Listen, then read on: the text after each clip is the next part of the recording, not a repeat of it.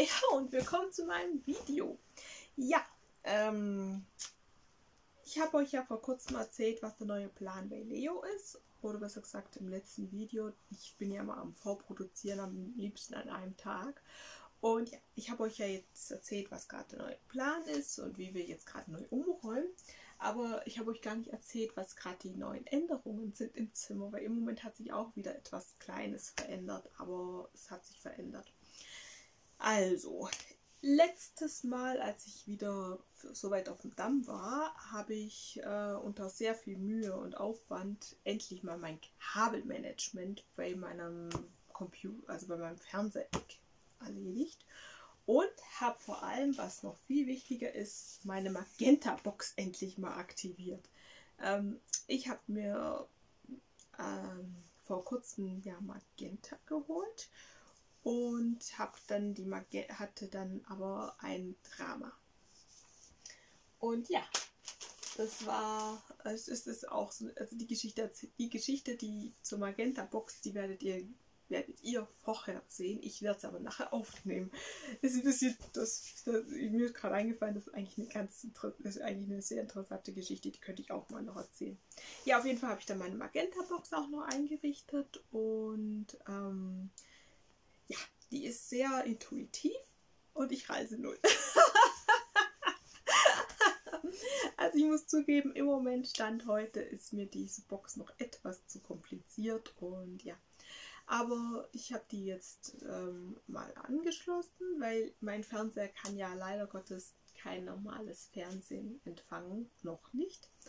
Ähm, aber das ändert sich dann auch, weil ähm, unser Fernsehtechniker bringt mir die nächsten Wochen irgendwann ein 20 Meter Fernseherkabel.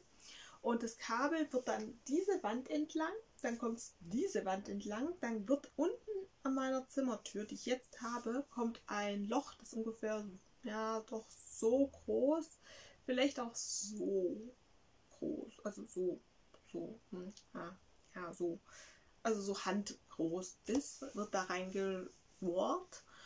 Und durch dieses Loch wird dann mein LAN-Kabel, weil ich habe meinen, ähm, meinen Verteiler fürs Internet, der ist in meinem Zimmer und der bleibt da auch, weil mein persönlicher Technik-Lehrmeister hat mir gesagt, es macht keinen Sinn, wenn ich dieses, wenn ich den, ähm, den Swifter, so heißt das Teil zum Verteilen vom Internet, wenn ich den da abbaue und ähm, dann hier aufbaue, also um, nur, damit ich dann nur hier in diesem Zimmer Internet habe, wenn ich dann vielleicht dort drüben auch Internet haben will. Der Mann weiß oft vor mir, was, was bei mir elektroniktechnisch ansteht. Also es ist faszinierend. Er hat mir schon sehr oft ähm, hat er gesagt, mach das und das lieber nicht, weil du wirst dann. Und wenn ich es dann nicht gemacht habe, war ich dann ein paar Monate später so froh, dass ich es nicht gemacht hatte, weil ich dann tatsächlich in diese Lage gekommen bin, die er mir beschrieben hat. Ja, auf jeden Fall ähm, habe ich dann, also das mit dem Swifter habe ich ja dann, wie gesagt, ähm, habe ich dann umgeplant und habe dann gesagt, ich, erst wollte ich ein Loch durch die Wand bohren habe ich so zu meiner Mama gesagt, ich bohre lieber ein Loch durch diese blöde Türe. Die ist so hässlich, die ist so, so beige. Oder wie, ich weiß nicht mal, was das für ein Ton ist. Und ja, da, da bauen, wir lieber da ein Loch durch, damit wir dann sozusagen ähm, unterm Schrank, unterm großen weißen, die Kabel hinterm weißen Schrank durch und dann hier nur so ein kleines Stück, wo ich dann abdichten muss, gegen ähm, Hasenknabbereien, dass ich dann da sozusagen mein LAN-Kabel und dann auch neu geplant das Fernseherkabel dann durchlaufen lasse. Ähm, das LAN-Kabel, also das Fernseherkabel, wie gesagt, kommt dann da durch. Dann kommt es unter dem weißen Schrank durch. Dann muss es ähm, durch, an der Tür ein Stück vorbei ist so ein ungefähr so breites Stück. Dann wird es hinter meinem Kleiderschrank durchlaufen.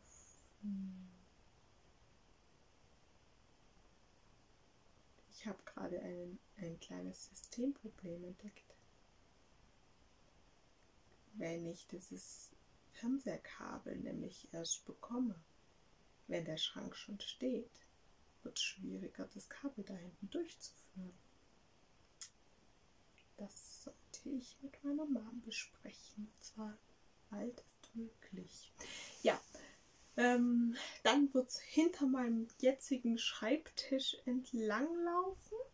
Dann hinter dem, hinter dem Bett, das in meinem Zimmer ist. Dann kommt da ja noch ein bisschen Geraffel und dann kommt es in die Fernsehbüchse direkt rein. Und wird hier dann mit dem anderen Kabel zusammengesteckt. Und dann hoffe ich, dass der Fernseher dann in, ähm, Fernsehen hat. Ja. Und das Internetkabel ähm, ja, macht, den macht praktisch, äh, bis auf dass es dann nicht hinterm Bett und zum Fernseher muss, denselben Weg. Es nervt mich jetzt gerade ein bisschen, dass mir diese Erkenntnis erst jetzt kommt. Naja. Ähm,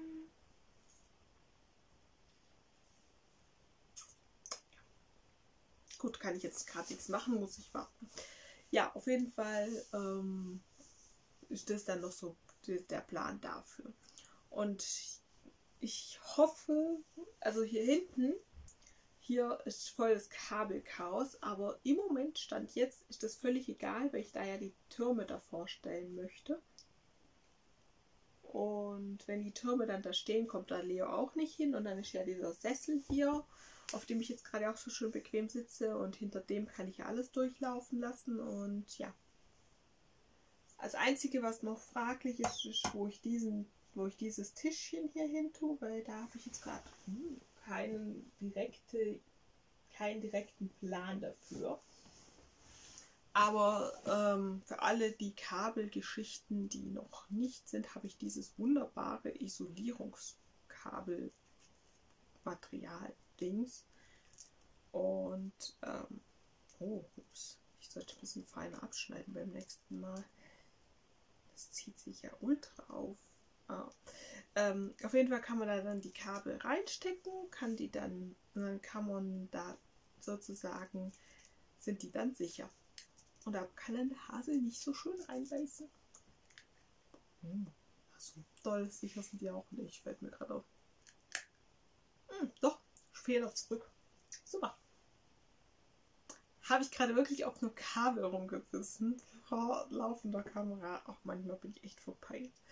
Naja, auf jeden Fall ist das dann die Lösung für die, offen, die Stellen, wo mehr oder weniger der Hase dann noch ans Kabel kommen können würde. Und ja, dadurch da habe ich nämlich ähm, zwei Stück davon gekauft, kaufe aber glaube ich tatsächlich noch mal eins einfach nur zur Sicherheit und aus Bauchgefühl, dass es nicht schaden kann, dass ich da dann das Und auf der anderen Seite ist es auch noch so, dass die Dinger, die sind hitzebeständig bis zu einem gewissen Gradzahl und ja, schützen einfach aufs Kabel vor, vor Verwitterung. Ja, gut. Das war alles, was ich euch zu, was es Neues gibt und was noch geplant ist, so mit Kabeln und so erzählen kann. Ja, ich hoffe, dass das dann, wenn es dann alles soweit liegt, dass dann auch alles funktioniert. Und ja, bin mal gespannt. Ich wünsche euch jetzt eine wunderschöne Zeit. Schreibt mir mal gerne in die Kommentare, ob ihr auch schon mal so riesen Umbauten hattet, weil das Einzige, woran ich nie gedacht habe, war an die ganzen Kabelgeschichten. Also ich habe so grob im Kopf Kabelmanagement im, Kopf rumgedeigt, aber dran gedacht habe ich nicht wirklich. ihr könnt mir aber auch gerne auf Twitter oder Facebook schreiben oder eine E-Mail an die bell.readmyarchive.com. Ich wünsche euch jetzt eine wunderschöne Zeit. Wir sehen uns bis bald. Tschüss. Uh, mein Fernbedienung.